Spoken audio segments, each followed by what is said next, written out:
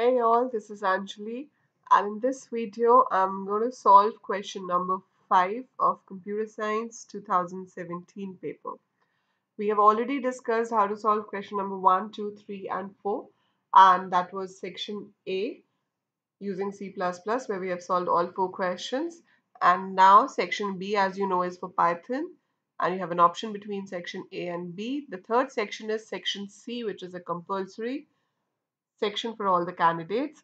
So this is the one which you have to do either you have C++ or you have Python.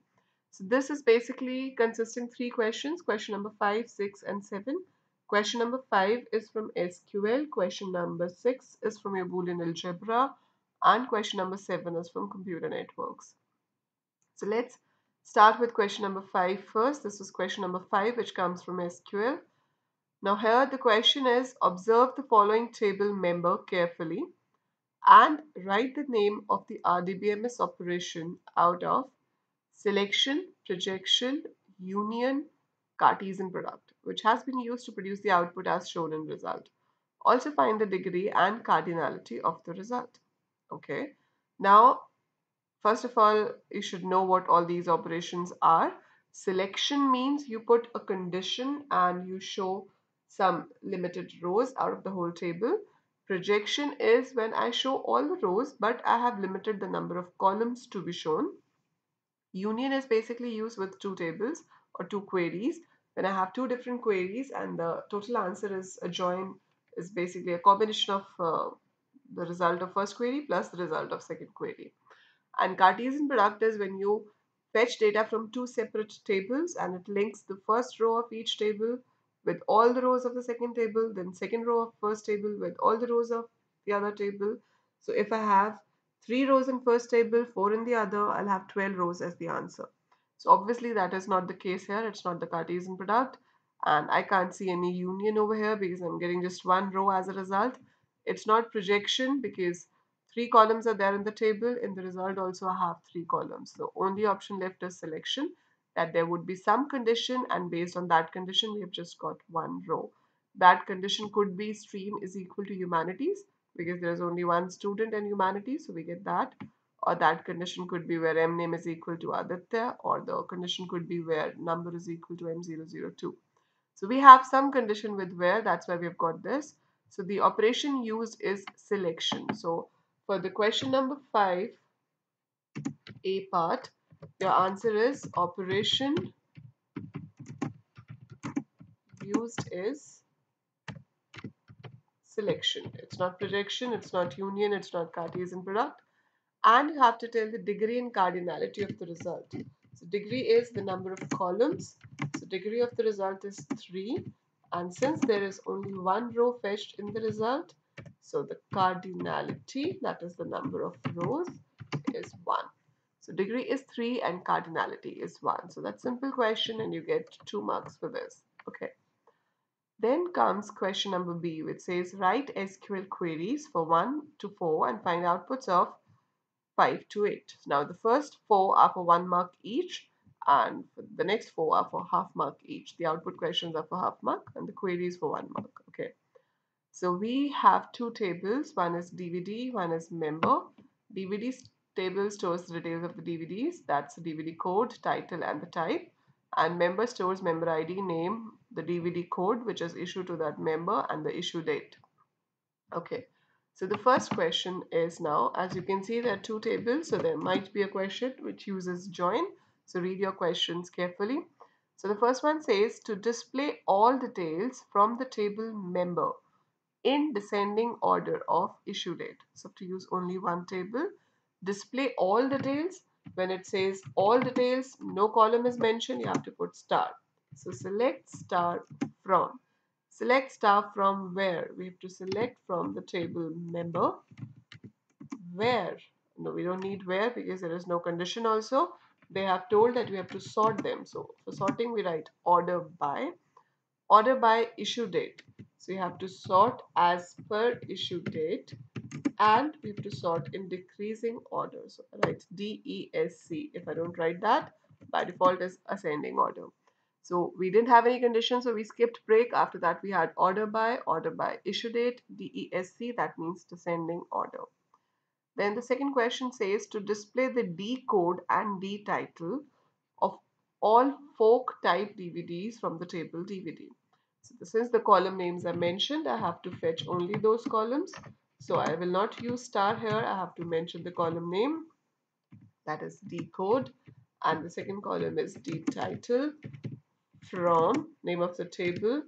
That is DVD where where of folk type. DVD type should be folk. So where D type is equal to folk. So it will match the D type wherever we get folk that will be displayed and the others will not be displayed so that's how we write the select command to fetch from the DVD table. Okay, the third command says to display the D type and the number of DVDs in each D type from the table DVD. Now, whenever your question says that you have to display something which can be calculated using a group function, a group function means count, min, max, average, sum, and it's mentioned for each DVD type or for or something wise like department wise. So when you have for each or for wise, then we mean that we need to use group by over here. So I have to display the D type and number of DVDs. Number of DVDs we can find with the help of count. So to write select DVD type, that is select D type, comma, I have to count. I have to count what? You can just write star over here if you don't want to write a column name or you could write D code.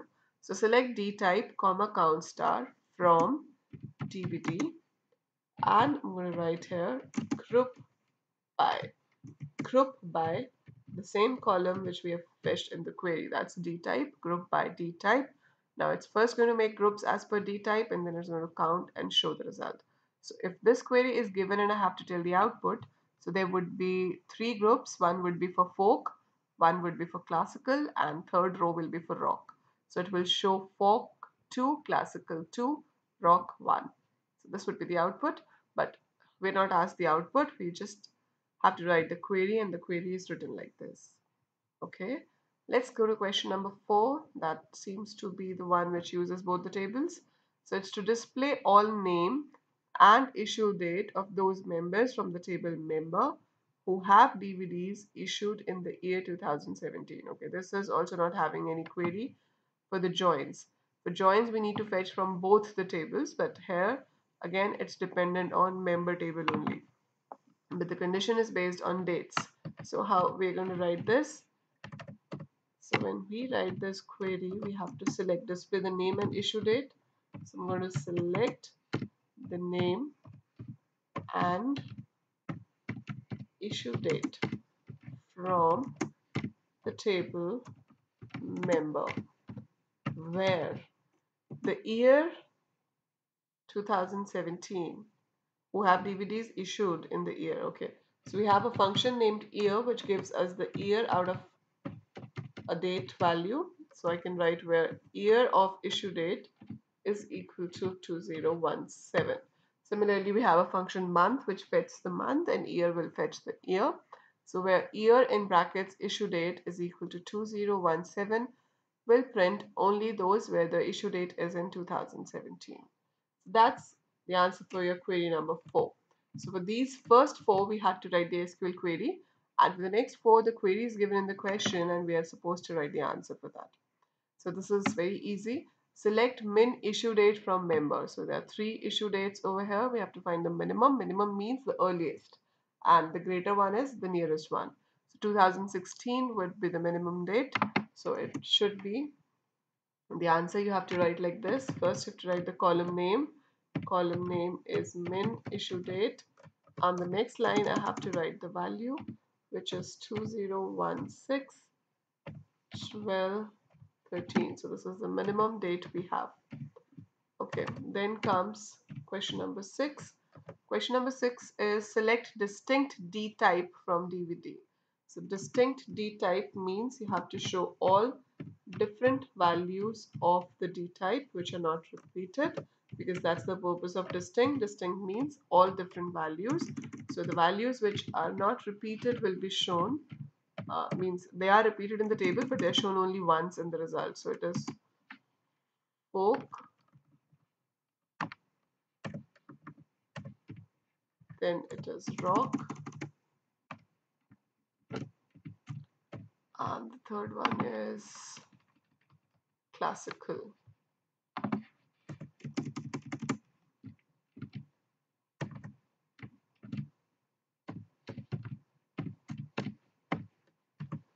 We get it this way. Then we have option 7. Okay, option 7 is uh, something which has a join, I guess. It's select d dot D code, comma name, comma d title. So name is in member table and d title is in the DVD table. So from, yeah.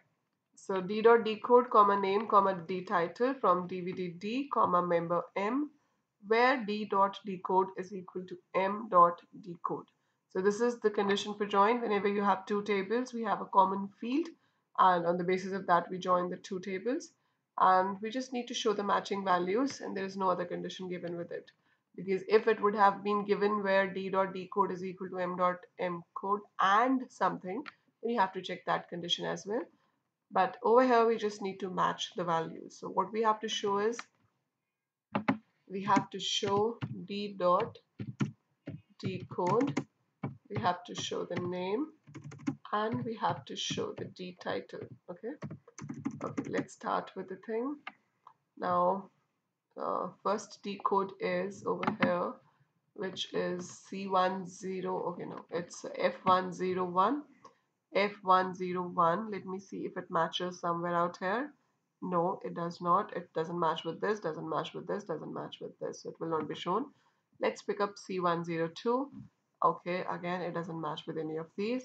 Then we have c101 c101 matches with this one. So we write here c101 then you have to show the name. Uh, is Nisha Hans and Nisha Hans is the name and the title is the planets. So it's linked with the planets. So you have to write here the planets. Okay. So that's first row and the second value is f102 that's linked with Arth Joseph. So we are going to write f102 linked with Arth Joseph and uh, Universal Soldier is the name of the CD so it should be Universal Soldier okay? Then the third one is R102 that is also there. That's also there. So we just write R102 the matching record is Agam Singh so below name you have to write Agam Singh and Agam Singh is linked with the a day in life. So it should be a day in life. So that's how we write the output of this question. So that's how we write the output for the join. And then the final question over here is select D title from DVD where D type not in folk and classical. So if it's not in folk and classical, so that means it matches with your rock, that is a day in life.